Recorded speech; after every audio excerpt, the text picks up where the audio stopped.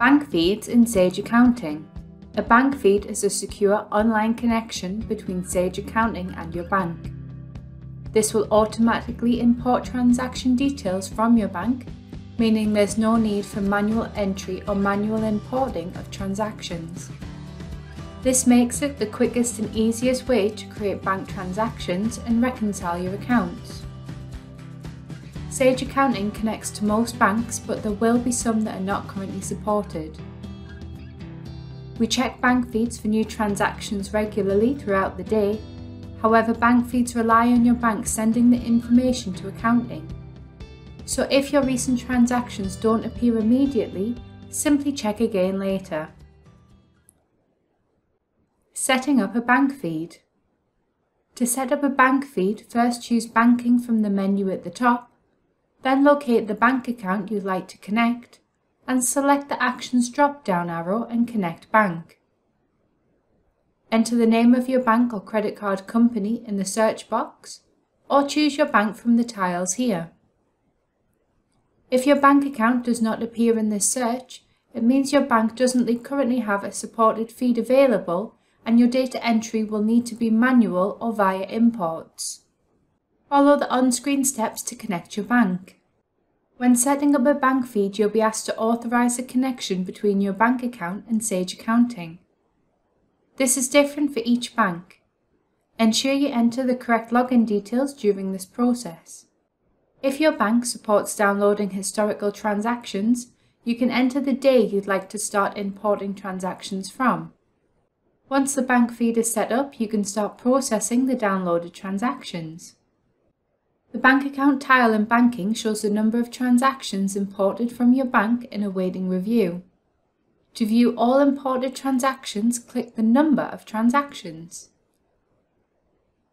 The oldest transactions are listed at the top with the date reference and amount. Money in is displayed in black and money out is in red with a minus symbol. If you do not wish to import a transaction, say it's already been processed manually, you can discard an entry by ticking the chosen transaction or transactions and selecting the bin icon. The processing options are shown to the right of the amount. Matching transactions. This is where the incoming transaction should be allocated to an existing outstanding invoice or existing transaction in accounting. Bank feeds will look for potential matches of any existing payments, receipts or invoices that have the same date and value as the import. This will automatically be matched and if it's correct, all you have to do is click Match. If a match isn't found automatically, you can match the imported transaction to an existing transaction of your choice. To do this, click Match. You can use the search box to help you find the transaction you're looking for. Tick the box to the left and then click Match. If you're matching a part payment, you'll need to amend the payment box at the bottom to specify the exact amount being paid towards the invoice. You can also match one payment to several invoices in one go. Create transactions. This should be used to create money in or money out transactions that don't have an invoice in accounting. This could be something like a one-off purchase. When creating a transaction, the For drop-down is where you choose a customer or a supplier. This isn't mandatory and you can leave this blank if you need to. In the What drop-down, you can select the ledger account.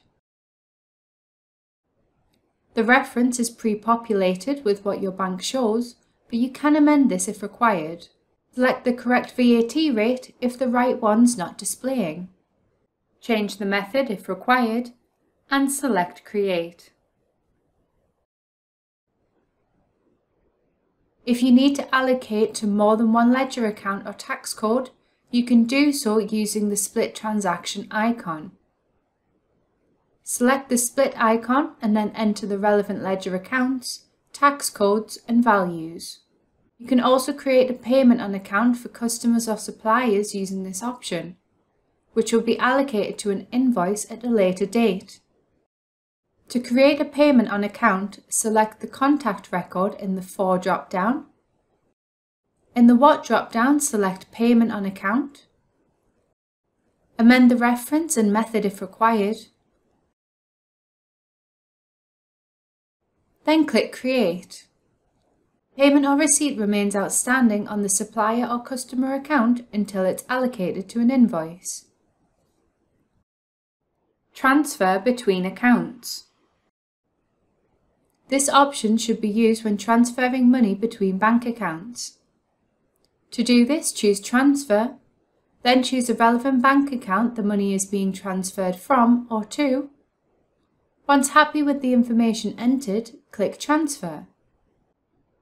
Please note, if both bank accounts use bank feeds, you should only use the transfer option in one of them. To avoid duplicates, you can discard or match the imported transactions from the other bank account. Bank feed rules. Bank rules help you automatically create transactions imported from bank feeds, meaning when your transactions are imported, bank rules are applied and transactions are categorized automatically. Set up a rule by clicking here or Rules Management at the top of the incoming transaction list. Each rule has a combination of conditions, such as the reference and the amount, that are used to recognize this transaction in the future. For example, if you pay your gas bill by direct debit each month, the reference and the amount would be the same. So this can be automatically identified, categorized, and created without manually entering any information. Complete the required information and click Save. Next time you process your incoming transactions, you'll see where the bank rules have been applied and you can create all transactions with a rule applied at the click of a button.